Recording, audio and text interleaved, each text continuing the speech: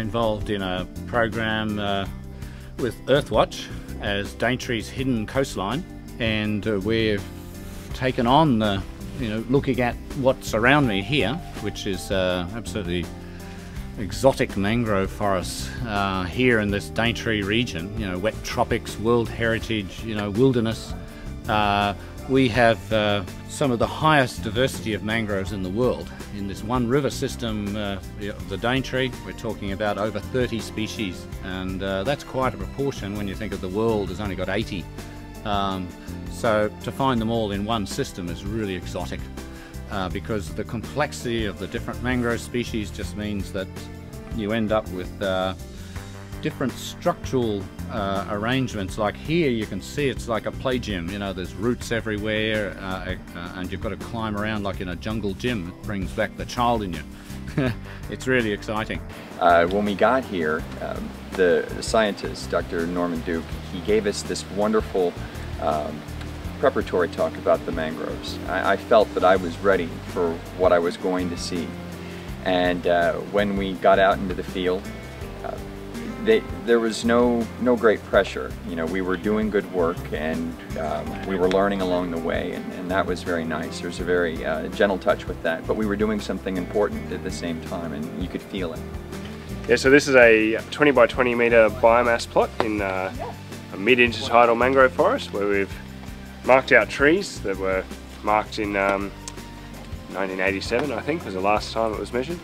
And uh, what we're doing is measuring the girth of the tree so we can tell how big the tree is and then relate that to biomass. We're also measuring the height.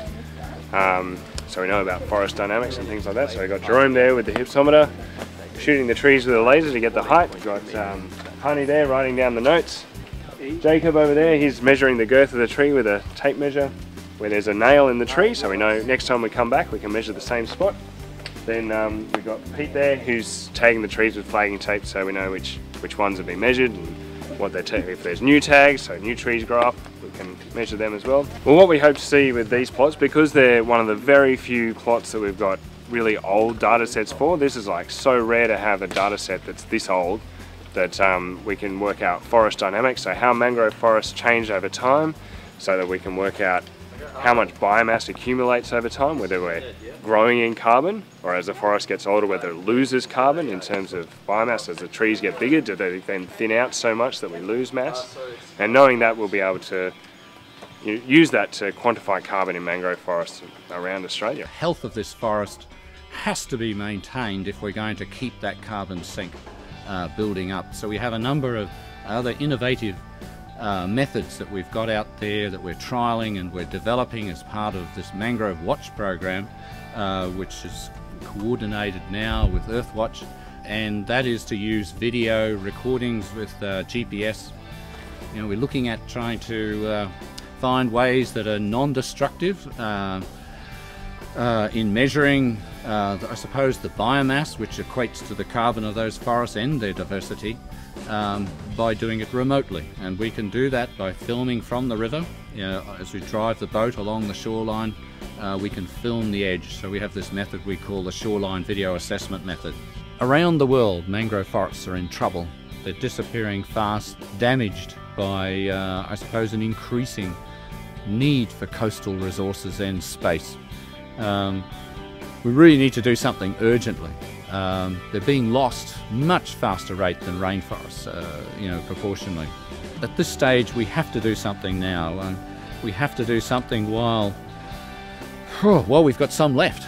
You know, Australia is very fortunate in having large areas of mangrove forests in the world.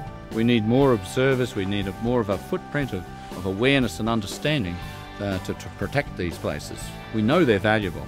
Getting local people involved in mangrove management is like community-based management is a really important tool because if people take ownership over their, their ecosystems and they're empowered by knowledge for external sources, people like me who have a bit of science background and come in and say, yep, this is good, and then take that to, to management agencies to say, you've got to keep this. And I think that's the way forward is to really give local ownership and local empowerment over the forest more people should come down here and check it out. It's, uh, place where no one ever goes. So you're, you're, charting new territory, doing really important research that has real benefits for real world people.